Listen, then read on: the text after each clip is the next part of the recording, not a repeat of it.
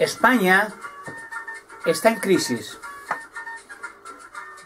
pero una crisis como nunca ha tenido en la historia del mundo. Porque muchos millones de españoles están en la ruina más absoluta. Pero no una ruina como en otros tiempos, donde la gente no tenía trabajo, la gente tenía pequeñas deudas, una pequeña hipoteca, y había futuro porque había posibilidad de un trabajo o de alguna forma de negocio y acabar en un par de años con la crisis personal. Pero hoy la crisis es a escala nacional y a escala mundial.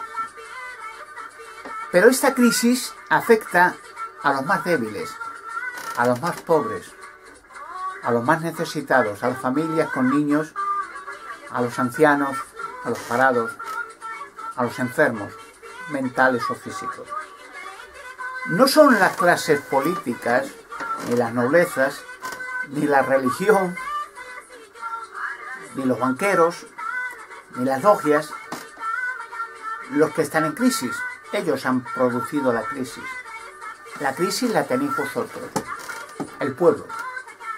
Os están arrastrando a una crisis de tal manera que sea necesario lo que es el plan del club y del BERT, arrastraros al nuevo orden, que tendréis que gritar por las calles, pedirlo, para no acabar muriendo de hambre. Hoy hay corrupción de la más elevada. Corrupción precisamente producida por los que tienen el poder y el dinero. Han sido siempre corruptos, pero hoy en extremo. ¿Saben? La fortuna más grande del mundo la tienen los criminales más grandes del mundo, el Vaticano y la Iglesia Católica. Hablo del clero, naturalmente. Los asesinos de niños, los que tienen un registro histórico de matanzas agresivas a millones de pobre gente inocente, quemadas vivas y torturadas. Fíjense un ejemplo que no, no, no se han parado a pensar. A la fuerza bruta, como siempre ha sido en España, a la fuerza, en un país supuestamente confesional, se le da del dinero de todos los españoles, sin excepción, o sea, del fondo, del Estado, de que se ha cogido dinero de los impuestos y el trabajo, el sudor, de todos los españoles, sean de la religión que sea o ateos, se le da solo de subvención 16.000 millones de euros anuales. Pero eso es solo subvención, más luego regalos, más las visitas del Papa se lleva cientos de millones al Vaticano, más luego misas, bodas, entierros, confirmaciones, Semana Santa, Navidad, o sea, fiestas paganas todas, cientos y cientos de millones adicionalmente. Miren una cosa, 16.000 millones de euros limpios de impuestos para la Iglesia, que es el capital más grande del mundo, se cuenta su capital en billones de dólares. En 10 años, 16.000 millones de euros al año, en 10 años, 160.000 millones de euros. Imagínense, 160.000 millones han dejado a la nación en 10 años en la miseria que es lo que estáis ahora. Vuestro dinero, vuestro trabajo, vuestro sudor está en los fondos de los bancos del Vaticano. Pero hablo de España. Eso multiplíquelo en todos los países católicos del mundo y anualmente se lleva esa gentuza criminal billones de dólares limpios anualmente. Es la explotación masiva más grande del mundo. Una religión pagana, diabólica, que no tiene nada que ver con, la lógica, con, con, Dios, con los evangelios, con Jesucristo. Imagínense qué diría Jesucristo si viera esto. Los criminales esos, la fábrica de armamento más grande del mundo. Los traficantes de droga, el Vaticano más grande del mundo. Toneladas de droga pasan por el Vaticano hacia toda Europa y hacia toda América. Trabajan con las mafias americanas, italianas, hombro a hombro, asesinando a diestro y siniestro a jueces, a banqueros, a papas, a quien sea. más negocios, bancos inmobiliarios poseen la tierra. O sea, la mitad de España es de la Iglesia Católica.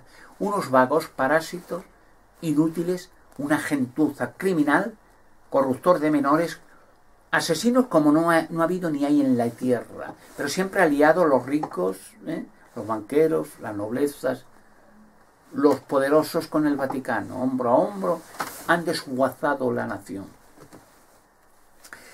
El mundo se enfrenta a una crisis global gigantesca.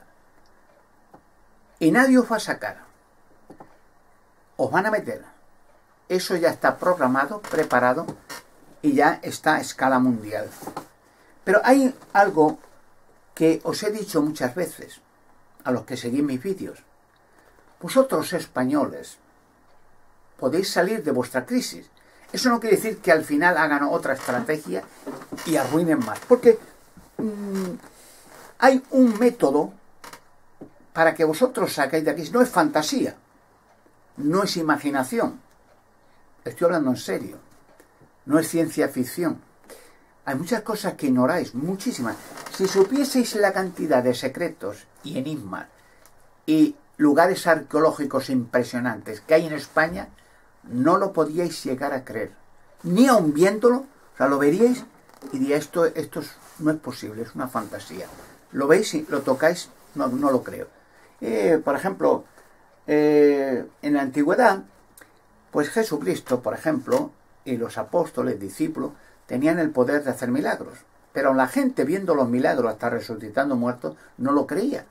De hecho, mataron a Jesucristo como un criminal. Le llamaban demoníaco, le llamaban de todo. No lo creían, la gente no cree, es ignorante. Creen barbaridades y se las cuentan y le explotan con ellas y realidades no. Mire, le digo esto porque hay en España muchos emplazamientos fantásticos que saldrán en su día impresionante. Pero uno que he hablado continuamente en mis vídeos, porque lo sacaré, es ciertas rocas que hay especiales en España con cuerpos de gigantes dentro. Nefelín se llama, gigantescos. Algunos de más de 10 metros, como los que encontraron en la India en la zona eh, de Distrito Vacío hace algunos años. Y se prohibió terminantemente hacer público aquello.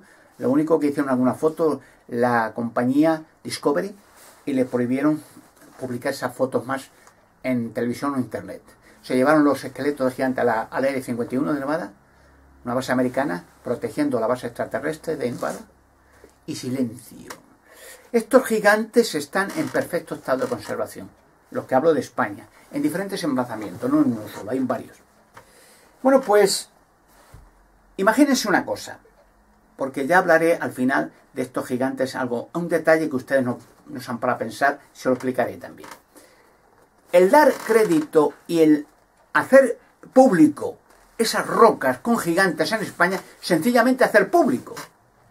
No hay más, no hay más secreto. Luego ya se abrirán. Significa que la atracción mundial hacia España será increíble millones y cientos de millones de seres humanos, curiosos, científicos, investigadores, se desplazarán a España. Las compañías aéreas no darán abasto al turismo, lo cual rápidamente habrá que construir más hoteles, restaurantes, carreteras, edificios de turismo, artículos de turismo, divisas. En un año, solo en un año, como máximo en dos, vuestra crisis española se acaba. Con toda plena seguridad, y no hago de fantasías, se acaba. Porque el fluido gigantesco de turismo a España para ver esos gigantes, por lo menos las rocas, con que se abra una basta, aunque sin abrirla se haga un orificio a esta roca, con un cable y una televisión se ve que hay un gigante. En el momento que se abra la roca y entre el oxígeno se empezará a mover. Bueno, esa atracción en los medios televisivos de España, por ejemplo, una, una televisión o varias televisiones españolas que lo produzcan y lo lleven a televisiones de todo el mundo, eso en una hora ya está hecho, será impresionante, astronómico.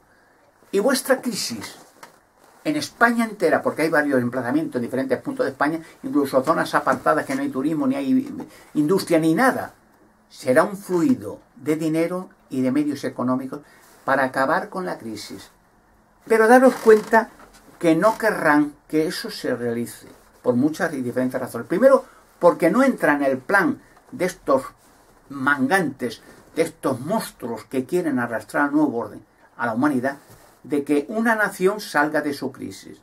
Lo que han promovido es arrastrar a las naciones a una crisis mundial mediante los que tienen el dinero y el poder, que son los de siempre, ya lo he repetido, banqueros, noblezas, iglesia católica, ocultistas, logias, Club Bilderberg, Illuminatis. O sea, grupos de poder que son los que son cada día más ricos. Ven que hay actos de corrupción política en cantidad. ¿Cuántos han entrado a la cárcel? Pues esto no lo permitirán. Y aunque muchas televisiones digan vamos a hacerlo, se lo prohibirán como lo están haciendo. Incluso he repetido muchas veces, no culpo a los periodistas, ellos eran inocentes de Antena 3 Televisión por otros periodistas con mucho miedo hace algunos años. Le dijeron, Alberto Canosa es un tío que sabe un montón de cosas. Se lo dijeron a varios periodistas de Antena 3 en secreto y con miedo.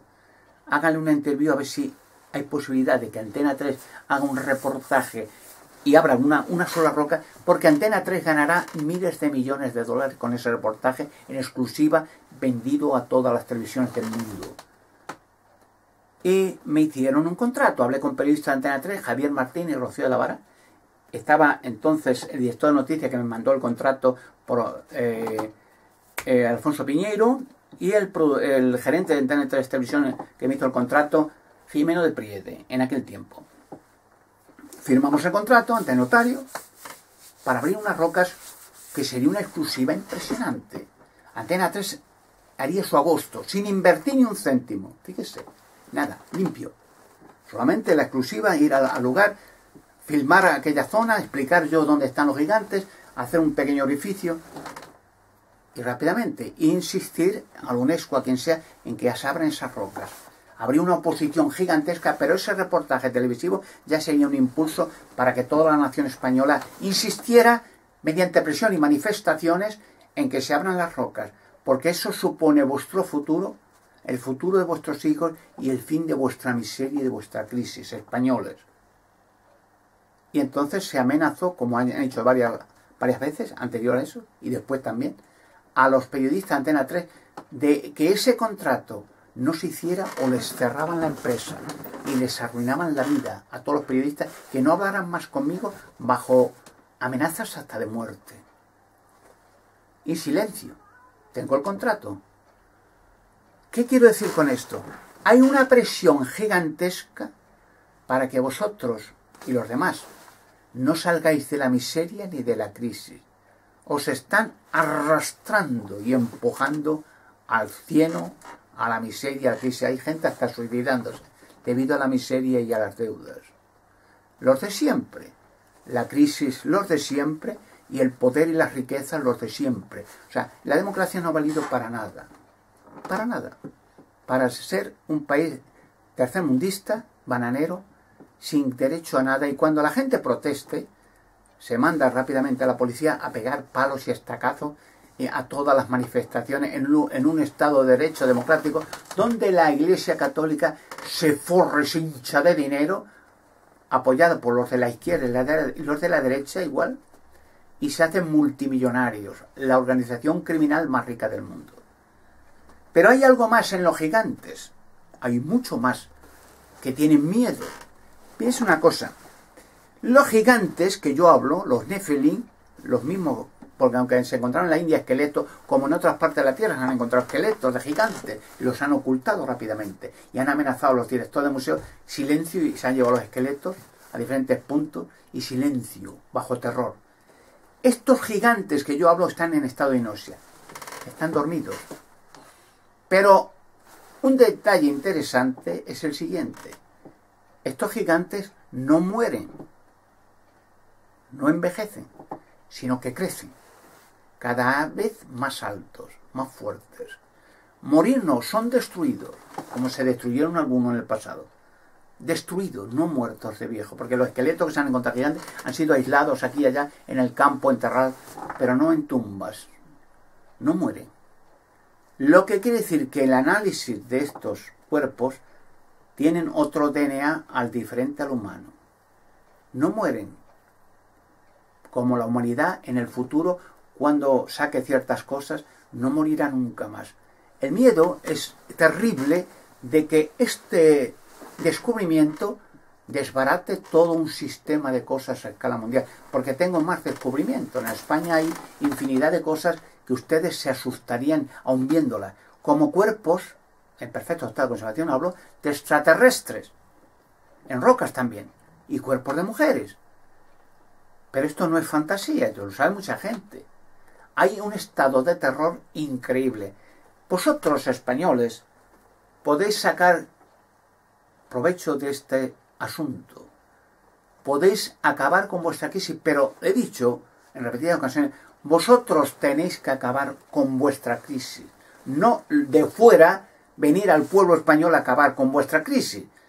Si no os movéis, si no hacéis nada, si os quedáis impasible como borrego, si miráis y os quejáis cuánta crisis tenemos, qué miseria, cuánta corrupción, cuánto abuso, pero no os movéis, no hacéis nada, vais a estar cada día peor y os van a pisotear cada día más. Hay en España una televisión pública, Radio Televisión Española, que también se prohibió, en Toledo con mi descubrimiento de la cueva de Hércules de que yo hablara y se amenazó a todos los periodistas, incluso a Agencia F de Toledo se amenazó que me hizo una interview sobre la cueva de Hércules. Se amenazó que le cerrarían la empresa si hacían pública la interview que me hicieron. La señorita María del Mar de, eh, F de Toledo. Vuestra televisión, Radio Televisión Española, es vuestra, vosotros españoles, sois los accionistas de esa televisión. Vuestro sudor, vuestro trabajo, vuestro impuesto financia y paga esa televisión que es vuestra. Así que vosotros sois lo que decís, lo que hay que ver y no hay que ver. No cuatro mangantes y cuatro personajes aquí y allá, no, vuestra televisión. Hay un escándalo reciente que periodistas de Antena 3 Televisión, a causa de esto que estoy hablando, se quejaron porque han impuesto normas de censura en Radio Televisión Española, leyes de censura, y han protestado algunos periodistas, pero ¿cómo en una televisión pública, pagada por todos los españoles, en un Estado democrático se hacen leyes de censura más severas que en televisiones privadas? Y rápidamente les han amenazado, le han dicho, pues si no queréis, os vais. O sea, en estado de terror está viviendo todo el mundo. En esa televisión pública vosotros tenéis la voz cantante. Y si vosotros decís un grupo, no hace falta mucha gente. Ya digo, no digo ya en televisión privada, porque tenga más amenazas. En pública, es decir, queremos que el señor Canosa, Alberto Canosa, investigador hispano-alemán, hable en un programa televisivo de nuestra televisión. Queremos por narices, por pantalones, que este señor hable que nosotros pagamos con nuestro sudor y nuestro trabajo y nuestros impuestos. Es mi televisión. Podéis todo el español decir, es nuestra televisión. Queremos que este señor hable. Por narices, por las buenas o por las malas. Y si no se hace manifestaciones y, se invaden las calles y, y aunque manden a la policía, queremos que este señor o destruimos la televisión y nuestra televisión y la cerramos y, echamos a patarse en la calle a todos los responsables que no quieren que este señor hable. Esa es vuestra decisión, lo que tenéis que hacer para salir de vuestra crisis. Y yo hablaré. Una vez me lleven, es media hora.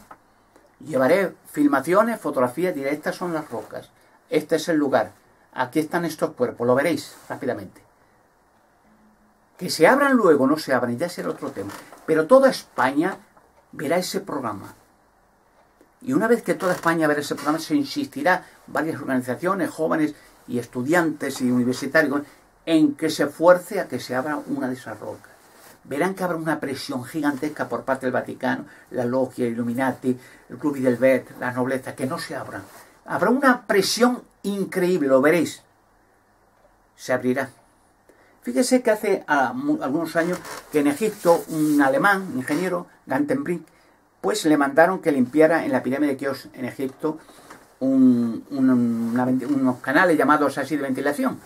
Pero el hombre con astucia puso un robot aspirador para limpiar de polvo ese canal, pero un vídeo delante, porque intuía que al final tenía que haber algo hueco. Y efectivamente había una puerta y detrás de esa puerta hay otras habitaciones. La pirámide de Keo está medio hueca. Hay muchas galerías, habitaciones que no han querido que se descubra. Como debajo de la Esfinge de Egipto, al hay robots debajo y muchos objetos antiguos y maquinaria para la construcción de las pirámides. Tampoco está prohibido también. Que nada se investigue, ni nadie se analice, ni, ni que se fotografíe si quiere. Bueno, pues quiero decir con esto se tuvo que esperar y, presionar a la UNESCO y a todo el mundo durante más de 10 años para que se hiciera un análisis, se pusiera un taladro en, un robot oruga y se hiciera un taladro y vieran que efectivamente era eso, hay más habitaciones detrás de, unas cámaras de piedra. Porque hay muchas habitaciones en la pirámide. ¿Con esto qué quiero decir? Que habrá una presión gigantesca, lo verán, para que no se abran esas rocas al final llegarán a decir, sí, sabemos que hay gigantes, pero está prohibido. ¿Por qué? Por muchas razones, porque se desbarata todo el sistema. Ustedes cobran fluidez con sus trabajos, porque ese, fluido de millones de turistas acaba con la crisis en España. Ustedes llegan a, tener trabajo, llegan a tener eh, dinero para pagar hipotecas, llegan a tener vejez, llegan a tener más dinero para salud, para niños, para escuelas, para estudiantes y llegan a tener un futuro. Pero aparte de eso, el peligro está en que los análisis de estos cuerpos con el DNA que, eh, que tenemos nosotros humanos estropeado y no quieren que se arregle de momento, será una sensación mundial para la ciencia. Y esos gigantes ya explicaré de dónde vinieron, quién los metieron, dónde están sus constructores, etcétera, etcétera. Y más y más enigmas y misterios que desbaratará para siempre el entero sistema de cosas. Ese es el miedo real. Porque eh, yo soy, dicho en algunas ocasiones, para los españoles y para los demás, soy como antiguamente en las leyendas, en las películas de Hollywood, el zorro, que lucha contra la maldad de los gobernantes a favor del pueblo. O dicho también de, otra manera, que es posible que en el futuro sea, soy a la semejanza del lute en el siglo XXI, que robaba a los ricos para dárselo a los pobres. En su mano está, españoles. En su mano está. Si vosotros, españoles y españolas, que estáis sin trabajo, en crisis, os están robando, os están pisoteando vuestros derechos, os están arrastrando al nuevo orden al microchip, os están dejando en la miseria. Y los que os están haciendo esto son multimillonarios todos. Si vosotros no hacéis nada, españoles, no esperéis que venga de fuera a hacerlo alguien. No sentéis viendo la televisión y viendo el fútbol y viendo telenovelas, telebasura y cosas así, porque os han adormecido y atontado y os tratan como idiotas. Si vosotros no hacéis nada, no esperéis que nadie venga a hacerlo. De vuestra mano está. Saludos amigos.